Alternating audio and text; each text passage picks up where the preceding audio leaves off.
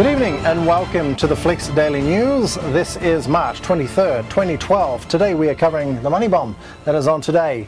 A new campaign ad that was just released.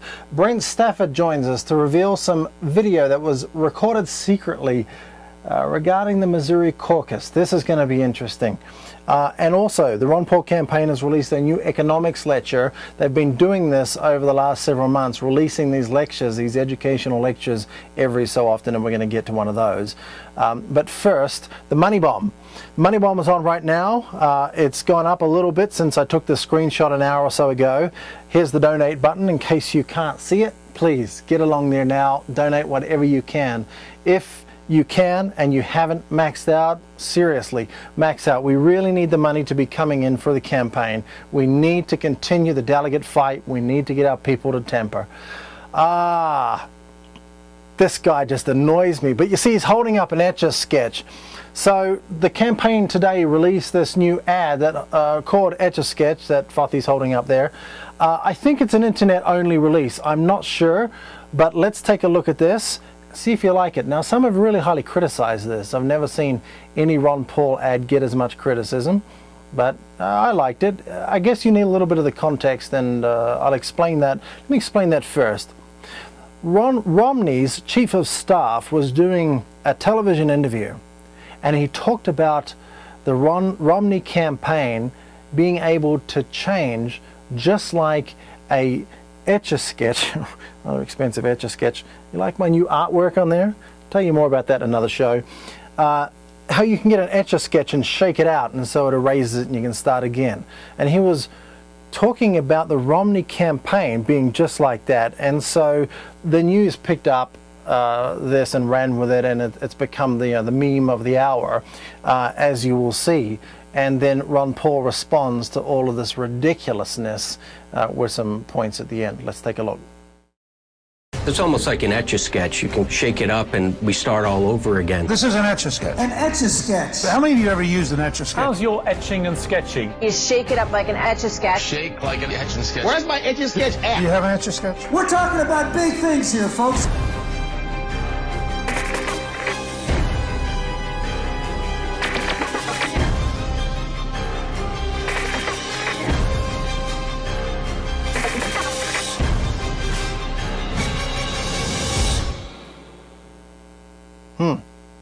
What do you think? I kind of liked it.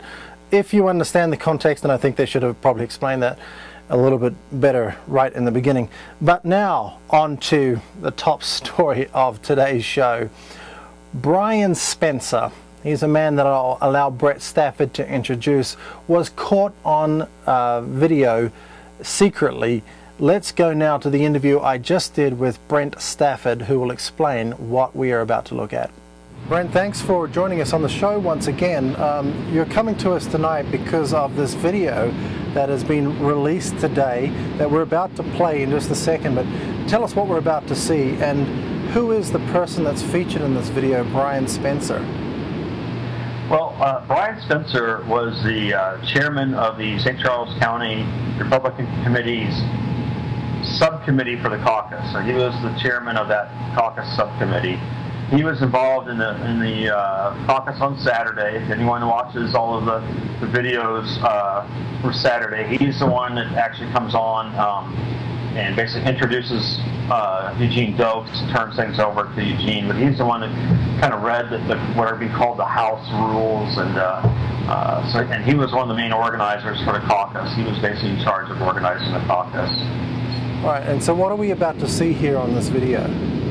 Well, what you're going to see is uh, him talking to a group um, of people uh, at a pachyderms meeting, which is a Republican club, and uh, he's basically uh, telling them, uh, giving them a recap of uh, what happened over the weekend with the caucus. And there was about 40 minutes or so that he talked, but the the, the, the, parts where he was really talking about how they had planned um, to not allow Ron Paul supporters to win all of the delegates is the, is the gist of uh, what's in the video that was put up on YouTube today. All right. Well, let's just take a look at this video now, and we'll come back to you right after this. Take a look at this. In Our many months of planning, we had a few goals, and we uh, we looked at the state rules, we looked at the national rules. I looked at Iowa, I looked at Maine, I looked at Nebraska and saw how they did it. And we tried to come up with a set of rules that were going to best represent the entire county voice.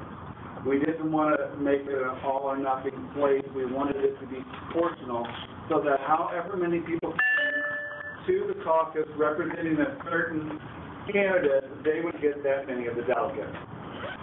Um, unfortunately, Eugene Dokes has taken the brunt of the, the hate mail.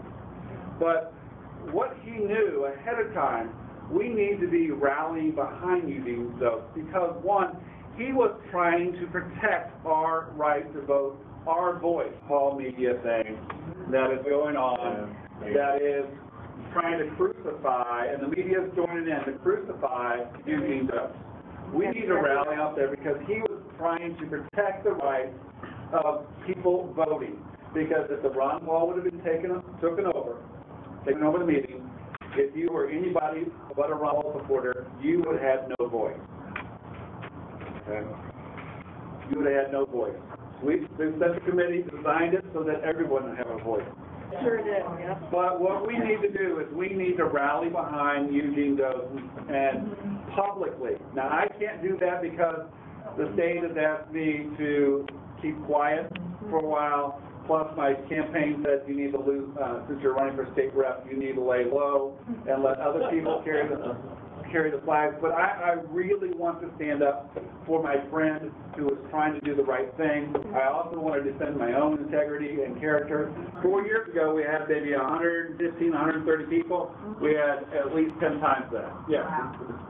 The, the, the thing that I, I, I have a hard time reconciling is the, the prohibition of electronic monitoring with the press who was there who was doing the same thing. That, that's, Well, here's the thing. I personally didn't want any media there because it's a closed meeting and, you know, the caucus has a history of being the sausage grinder of the politics and we don't want, uh, people to see what actually goes into the sausage. Um, is taking it hard. I mean, it's every story this hangs in it. Every story. Because he, because he was not going to allow Ron Paul to shut out the vote of three other candidates. He was protected by the vote. He was protecting your right to have your voice heard. And he is being crucified. We cannot stand quiet. We have to call the papers. We have to call the, the radio places. We have to get online and do Facebook because he's being crucified. He is being publicly crucified for fighting for us. So he needs to have someone to stand behind him. And I, unfortunately, can only do it in small places like that. I cannot do that publicly because one, I'm the event organizer, and my credibility would be questioned because they think that we are in a conspiracy together. And two, um, I'm running for state rep and they don't want me to say anything, even though I feel I have to. So please protect, stand behind you, he knows, he deserves it, he was, he was fighting. Well, Brent, that was some pretty incriminating stuff right there. What's what are the implications of what we just saw? Well, it's confirmation of what a lot of people had already suspected, and and some people had, you know, basically known, but you know didn't have actual concrete evidence of, and is that the caucus uh, organizers uh, had basically come up with a plan to uh, to make the caucus go their way, and uh, and you know so things like uh, ignoring my points of order, ignoring uh, uh my nomination uh, to the chair, uh, you know, all falls in line with, with this. So basically, they made a decision. this either the subcommittee or or actually Brian implies the entire central committee. I don't. I'm not certain of that. Not, but at any rate, they decided that they knew what was best. They wanted all three candidates to have delegates, uh, and they were going to, because they thought that was fair, and they were going to cheat to make sure that there was a fair outcome. They were cheating to be fair. Um, um, has the campaign seen this? Has they made any comment on this yet? Oh yeah, I, I mean absolutely. Uh, the campaign saw it before it was released uh, on on uh, YouTube, and they saw the original unedited 40-minute uh, version. Uh, uh, so they're well aware of it. Um, the, the, the, premeditation is obvious, and, and now is being substantiated by the person who's who was in charge of organizing and running the caucus. you know, a lot of us knew that was their plan we we went in knowing the rules, uh, expecting to play by the rules to to you know uh, not allow that to happen. But it was obvious that they they were not going to listen to any uh, motions or points of order, any kind of parliamentary procedure. That they that's why that they uh, you know that Eugene.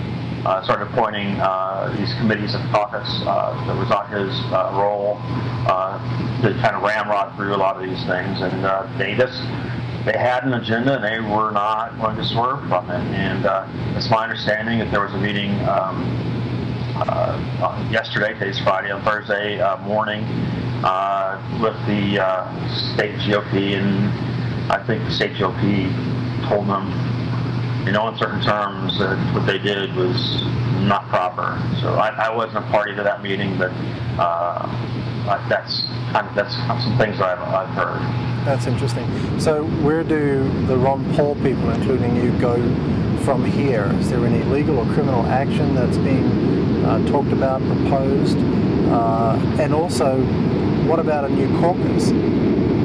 Well, obviously there's lots of talk about a lot of things. Uh, as far as what the uh, official uh, campaign is going to do, uh, I'm not sure. I'm not I'm a grassroots uh, organizer. I'm not uh, with the official campaign, and even if I was, I wouldn't uh, pretend to speak for the campaign on, on that regard.